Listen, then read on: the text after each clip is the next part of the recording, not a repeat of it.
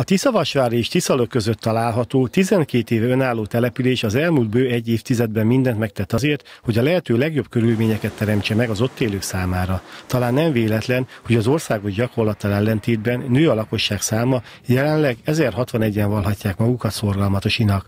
A közelmúltban adták át a 8,4 millió forintos költségvetésből elkészült piacot, ahol a helyiek értékesíthetik a megtermelt zöldséget és gyümölcsöt. Szintén uniós pályázatnak köszönhetően kap új orvos orvosi rendelőt a település, az 53 milliós költségvetésű beruházás már el is kezdődött. Folyamatban van szorgalmatosan egy új orvosi rendelő építése, ami szintén környezettudatos épület lesz, hiszen ez egy aktív szívet aktív szigetelést alkalmazó épület, ahol energiaköltségünk nem nagyon fog fölmerülni.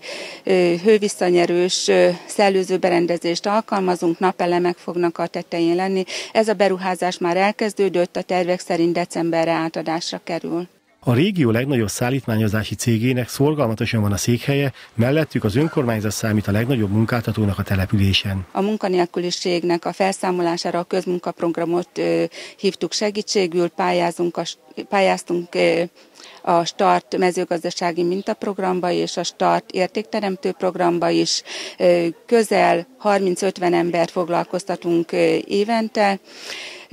A településünkön három éve foglalkozunk mezőgazdasági termeléssel, szép eredményeket értünk el, az idén már gombát is termeltünk nagy sikerrel, káposztát savanyítunk, lekvárt főzünk, és megtermeljük a konyhánknak, a 370 adagos konyhánknak az alapanyagát.